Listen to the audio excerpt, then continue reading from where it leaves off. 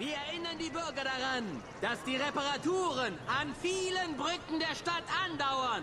Bitte Gut, dann hat er uns daran auch erinnert und damit herzlich willkommen zurück zu unserem Let's Play Assassin's Creed 2. Das letzte Mal sind wir stehen geblieben, als sich das Ganze aufgehangen hat. Das äh, hat Gott sei Dank noch gespeichert. Also wir sind jetzt, das Einzige, was ihr jetzt nicht gesehen habt, das war im Prinzip eine Sequenz, wo neue Bereiche in äh, Venedig nun ähm, beschreibbar sind und das war's auch schon. Ja, also mehr hat sich da auch wirklich nicht getan. Das heißt, wir machen jetzt ganz normal da weiter, wo wir auch letztens aufgehört haben. Verpasst habt ihr und das garantiere ich euch nichts. So, und jetzt wollen wir mal schauen. Jetzt gehen wir wieder zurück auf die Karte. Ähm, jetzt müssen wir uns auch mal einig werden, dass wir jetzt im nächsten... Ah, was wir jetzt im nächsten Atemzug machen. Also, die Festung, die hatten wir eingenommen gehabt und... Jetzt ist die Frage, was ist denn hier? Das Auftragsattentäter. Bisschen wir nach Vorli zurück? Ach nee, hier. Gucke mal an. Also hier drüben. Haben wir einen neuen Erinnerungsanfang und die Frage ist, wie machen wir das am besten? Gehen wir jetzt da oben rum? Gute Frage. Oder gehen wir erstmal hier unten? Ich würde eventuell hier unten lang gehen. Die Codex-Seite würde ich mir gerne mitnehmen. Denn äh, was wir letztes Mal ja so mitbekommen haben, weil das äh, durch die Entschlüsselung der Codex-Seite uns auch ein neuer Gesundheitspunkt gewährt wurde. Und dementsprechend ähm, ist für mich ein Gegenwert gegeben für das Einsammeln der Codex-Seiten. Da kann man dann dem auch mal hinterherkommen. So, die Frage ist jetzt nur, wo hängt das Ding? Vermute mal, wir werden auf die... Na, ne, wir gehen lieber hier außen rum. Ich glaube nämlich, die ist genau hier unten und bewache. Muss schneller sein. Bam, Junge! Entschuldigung. Ja, was rennt da auch direkt in meine Richtung? Stinkende was wollt. Was? So.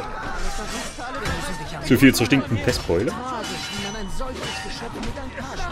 Und wie man übrigens sieht, ähm, unser neuer Streitkolben, er macht sich schon ein bisschen bezahlt. Also de, der zusätzliche Schadenspunkt macht zumindest bei den ähm, gut gerüsteten Streitkräften durchaus Sinn.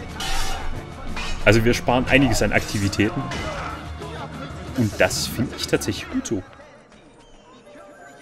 Und der Kampf macht halt auch wieder ein, ein kleines bisschen mehr Spaß, finde ich. Wie gesagt, ich bin immer ein Held, äh, ein Held, no, ich bin Held. Das kann man so stehen lassen. Brauche ich mich gar nicht zu korrigieren. Nee, ähm, was wollte ich sagen? Ich bin jemand, der hält stumpfe Waffen sowieso für die bessere Art und Weise, äh, damit die Kampfkunst zu betreiben. Und, wie gesagt, Kriegshammer, Streitkolben, es macht halt wesentlich mehr her. Außerdem ist auch der Sound in dem Spiel, was so äh, Schläge mit stumpfen Gegenständen betrifft, sehr schön gemacht. Darum werden wir wahrscheinlich auch erstmal dabei bleiben. Ich hoffe, der Bogenschütze ignoriert uns noch ein bisschen. Ah, das war knapp, aber er hat es noch gemacht.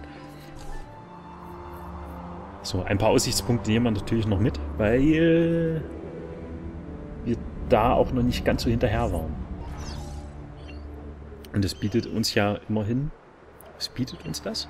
Erstmal nichts weiter. Hm. Na gut. Stimmt, das war im ersten Teil, wo wir damit auch Gesundheitspunkte aufbauen konnten. Gut, dann war es halt hier nicht. So, aber wir bekommen natürlich ein bisschen mehr mit, was jetzt hier hier noch zu sehen ist. Ähm, ich will immer Luigis Werkstatt sagen. Nee, ist natürlich nicht Luigi. Leonardos Werkstatt wird jetzt auch wieder angezeigt, weil, weil wir eine Codex-Seite mitgenommen haben. Aber wir laufen nicht jeden, äh, wegen jeder einzelnen Codex-Seite zu Leonardo. Das machen wir dann, wenn wir, naja, ein paar nebenbei mitgenommen haben. Sehr schön. Das habe ich mir spontan anders vorgestellt. Das heißt, wir werden doch oben über die Brücke gehen müssen. Ich vermute mal, das war die Rialto-Brücke, wenn mich nicht alles irrt. Ah, der Umweg ist ein bisschen belastend. Na gut. Aber wir kommen ja scheinbar nicht drum herum. Werden wir es halt so machen müssen. Schade.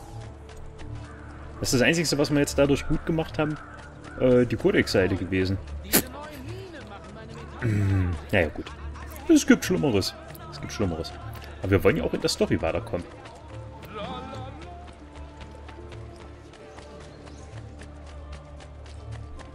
Ja, wir müssen die ganze Zeit am Ufer langlaufen. Können wir vielleicht hier ein bisschen... Nee. Ich dachte, da können wir irgendwie charmant abkürzen, aber das... Dem war ja dann wohl doch nicht so. Die Frage ist, ob wir halt auch zwischendurch zurück äh, machen sollten nach ähm, Forli. Ob das Sinn machen würde, ich weiß es nicht. Ich schaue eben ganz kurz nochmal auf die Karte. Ah, das ist ein Assassinengrab. Hier oben wird nichts weiter angezeigt. Ah, machen, machen wir nochmal zurück. Wir haben aber jede Menge Geld in der letzten Folge ausgegeben. Das möchte ich eigentlich halbwegs wieder drin haben. Na, ich schau mal. Die Frage ist ja jetzt, ob wir äh, trotzdem noch über die Brücke kommen, aber ich denke, das müssen wir eigentlich. Weil wir sind ja, als wir Venedig besucht haben, waren wir doch schon mal auf der Rialto-Brücke. Die dürfte eigentlich nicht gesperrt sein. Okay, sieht noch gut aus. Sieht immer noch gut aus. Ja, sieht gut aus. Sehr schön. Ein bisschen nervig da. Irgendwie gut, das gebe ich zu, aber... Ach, das sind wir doch alle voll entspannt. Wir haben ja diese elbische Chill-Out-Mucke im Hintergrund laufen.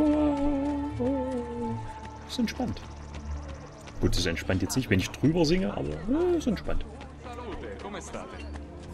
So. Ne, warte mal. Jetzt verfolge ich doch schon wieder unten diese Codex-Seite, die ich noch angeklickt hatte. Das ist, glaube ich, falsch. Ja, das ist falsch. So, wir wollen erst den Aussichtspunkt und äh, dann den Erinnerungsanfang, würde ich sagen. Und vielleicht eventuell danach gleich noch das Assassinengrab machen, je nachdem, wohin uns die äh, Mission führt.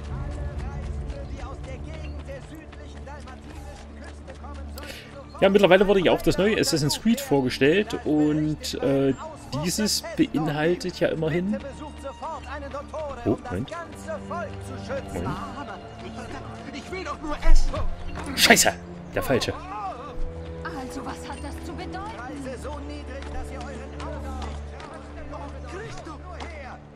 Es gab ja eben 1500. Und 1500 sind genügend Geld, um ihn dann doch nochmal... Sehr gut. Ja, ja, ich hau, ich, ich hau ja schon ab.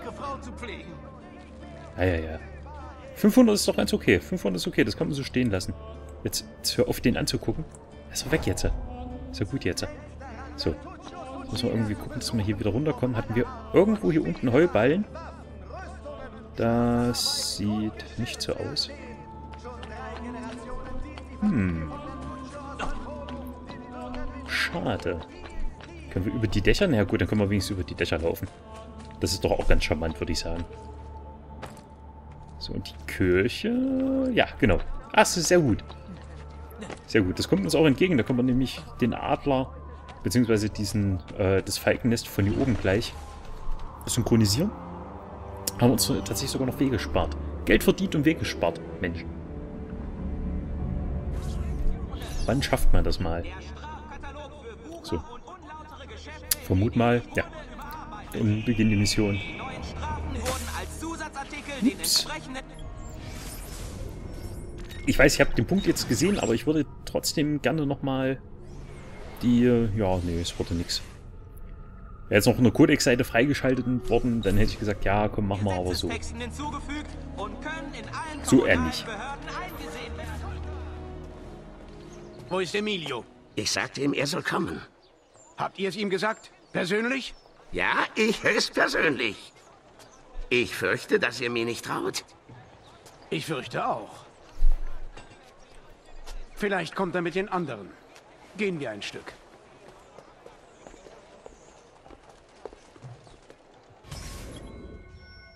Gleich und gleich. Die Templer verfolgen, um ihr Treffen zu belauschen. Aber natürlich Le Mans. Also, wie geht's im Palast voran? Offen gesagt schwer. Moscheniko hält seinen Kreis geschlossen. Ich habe versucht, die Basis zu legen, machte Vorschläge. Aber er hört auf andere Stimmen.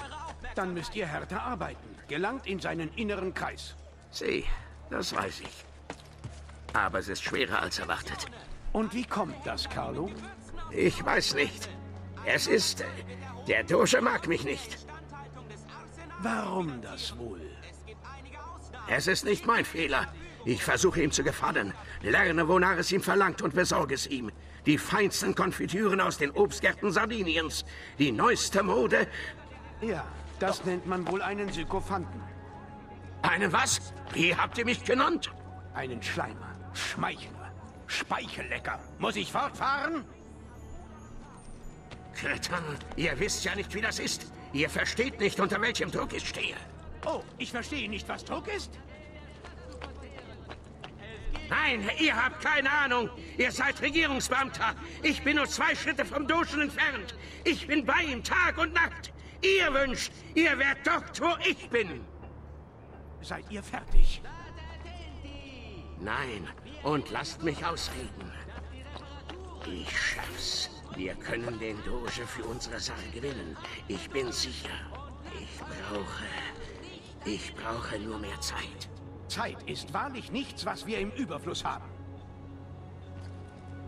An alle Venezianer, wisset, dass in einer Woche ein Maskenball vor dem Palazzo Dandolo... Jetzt bin ich mir nicht sicher, ob ich die nicht höre oder ob die tatsächlich nichts sagen.